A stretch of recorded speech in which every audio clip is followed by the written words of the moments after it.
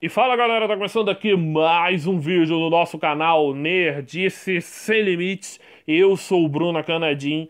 E galera, hoje nós vamos falar de anime, nós vamos falar de streaming, nós vamos falar de animeca, galera. Porque, olha só pessoal, tivemos um plot twist, tivemos uma reviravolta aqui na grande guerra dos streamings. A saga está só no começo, porque streaming é o futuro. E parece, parece que muito em breve a Funimation e o Crunchyroll poderão ter aí um inimigo à altura. Sempre tem um, um, adversário mais poderoso, cara. Nós vamos ao encontro do mais forte, como aprendemos lá em Street Fighter 2 Victory. Mas o que, que, é, o que, que é a notícia? É, o Animeca, que é um streaming de anime japonês, está planejando, anunciou planos de expansão internacional. Então ele pode ali chegar em outros países fora do Japão, galera. E aí, e aí a coisa fica bem interessante, né? Vamos ver se isso acontece aí em breve. Mas poderemos ter aí um novo streaming focado em animes uh, no mercado, porque concorrência é sempre bom, né? A monopólio é, é bom para as empresas, mas é ruim para o consumidor, porque eles ganham muito poder. Nessa batalha aí, nesse torneio do poder, o Animeca aí pode ser um, um oponente que não pode ser subestimado.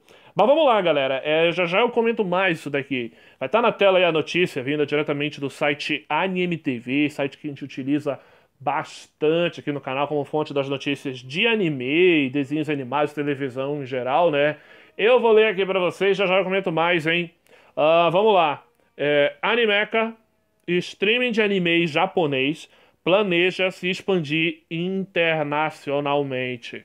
Foi revelado nesta segunda-feira, dia 6, quando eu estou gravando esse vídeo, que o Animeca, serviço de streaming japonês focado em animes, planeja uma expansão internacional, ou seja, planeja sua chegada em outros países via ANNN, né, que é o Anime News.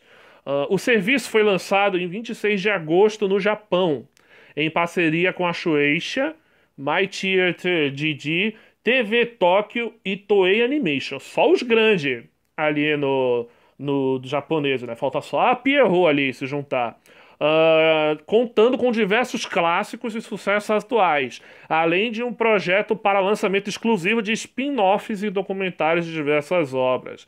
No post tem uma imagem ali com os diversos animes que estão no catálogo, né? Os mais notórios da imagem não é, não é coisa besta, não. É Jujutsu Kaisen, Demon Slayer, Kimetsu no Yaiba, Dragon Quest, O Adventure of Dai Miss Kobayashi Dragon Maid e Death Note. Olha só, e do Dr. Stone também. Será que isso pode significar aí um, um fim do Dr. Stone no Crunchyroll? Sei lá, acho que não, né?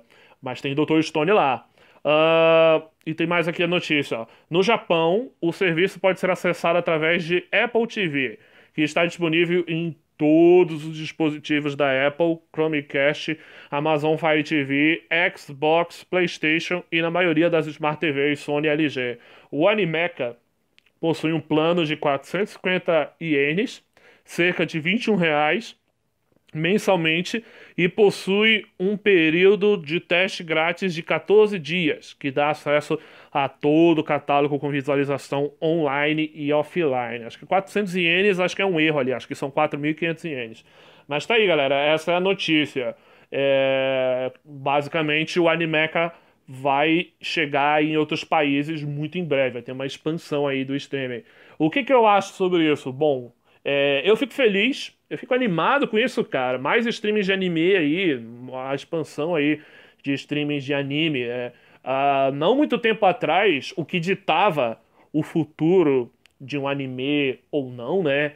É, o que ditava o sucesso era a venda de Blu-rays, mas com a chegada dos streamings, principalmente ali os streamings focados, né, Crunchyroll, Funimation, há um tempo atrás o Anime Lab, né, e também os streamings gerais, né, Netflix e Prime Video, o sucesso nos streamings vem se tornando cada vez mais um fator a ser considerado. Então, a, aqui no Ocidente a gente ganhou muito mais poder de, controlar a vida de um anime, porque se um anime bomba num streaming, ele tem ali mais futuro Sendo que antigamente eles consideravam só a venda de Blu-rays e no Japão, cara. Então, mesmo que um anime fizesse sucesso aqui no Ocidente, se ele flopasse no Japão, ele era cancelado. E a gente ficava órfão de uma obra legal, né?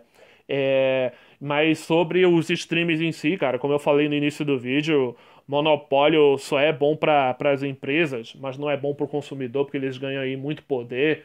Então, concorrência é sempre melhor, porque eles vão brigando pela nossa satisfação e para fazer isso eles têm que lutar para ver quem tem a maior qualidade.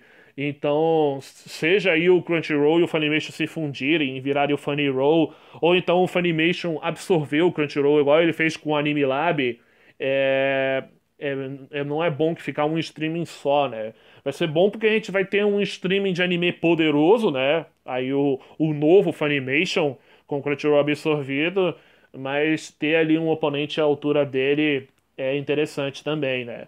É, então, vamos ver aí, né? Lançaram recente aí o Animeca, 26 de agosto, cara. Já, já anunciaram planos aí de expansão, então os caras tão rápido, tão rápido pelo menos, né? E, tem, e é um streaming japonês, né? Apesar do Funimation pertencer à Sony, hoje em dia quem fala mais alto dentro da Sony é a divisão americana, né? Sony América.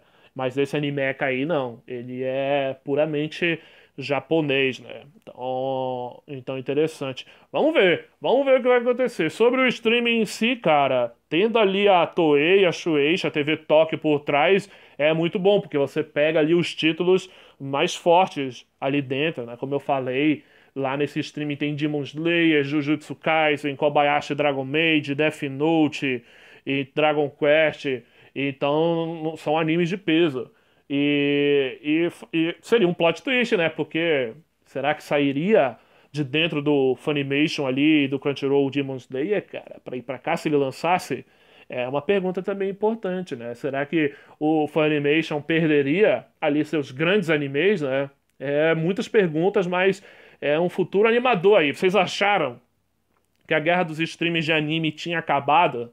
Estão muito enganadas. A guerra dos streams de anime só vai entrar em uma nova saga. O Funimation aí deve absorver o Crunchyroll e enfrentar aí o Animeca. E a gente ter ali a batalha de titãs, né?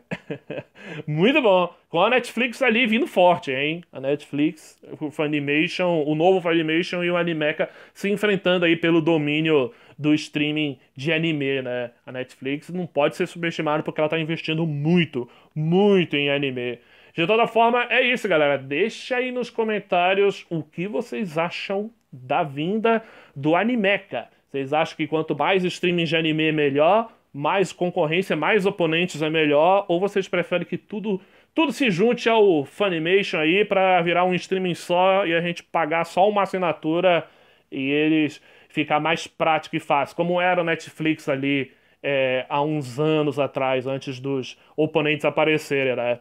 Uh, mas é isso, galera. Deixa o likezão no vídeo, se inscreva no canal aí, quem é novo, quem ainda não é inscrito, e continue acompanhando aqui para mais vídeos no futuro sobre anime, é, streaming, Animeca, Funimation, Crunchyroll, Japão, Ocidente, Toei, TV Tóquio, Shueisha e muito mais aqui no nosso canal Nerdice Sem Limites. E falou, galera!